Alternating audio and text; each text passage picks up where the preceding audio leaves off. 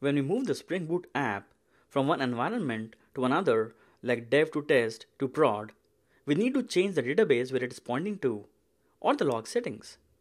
In this video, we will see how to make these changes external to the app so that we do not have to modify code just for moving from one environment to another. We will use the project Spring Boot and JPA working with table with composite PK in service methods and form submissions we had built earlier for this demonstration. Please watch that video if you want to get up to speed. So here is our project.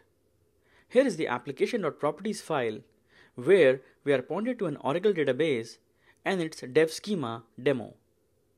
There are some other settings like for instance the logging settings which will be different in dev than in prod.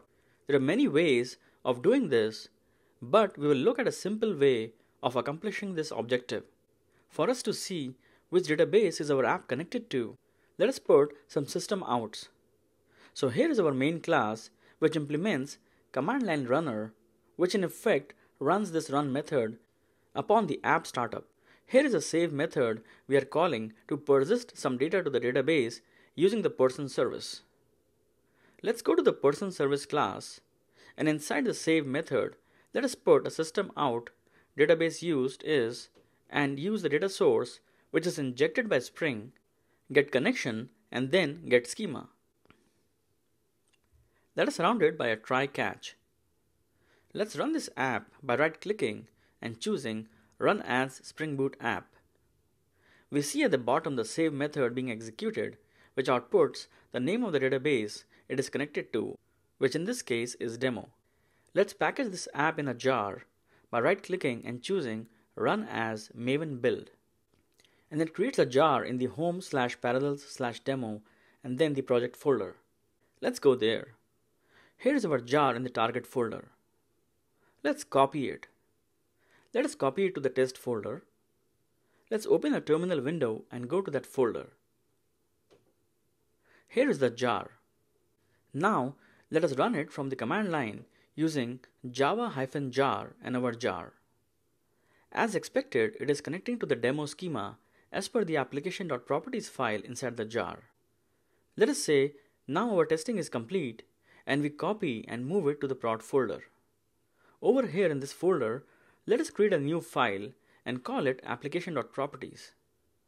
Let's go to the applications application.properties file and copy the settings from here to this file. Now, when you have an application.properties file in the same folder as the jar file, that will take precedence over the one inside the jar, and its settings will take effect. So over here, let us change the database username and password to point it to the prod schema. Let's change the logging level also. Now, let's open another terminal window and go to the prod folder. Here is our jar file and our application.properties file. Let's run java-jar in our jar. The application starts and this time we see it is connecting to the prod schema. So this way, by having an application.properties file with appropriate settings in the deployment folder in each environment, we can move the same code base, the same jar file to each deployment environment and have it connect to the appropriate database with appropriate log settings, etc. We do not have to make code changes and maintain a separate version of the jar file for each environment. Thanks for watching.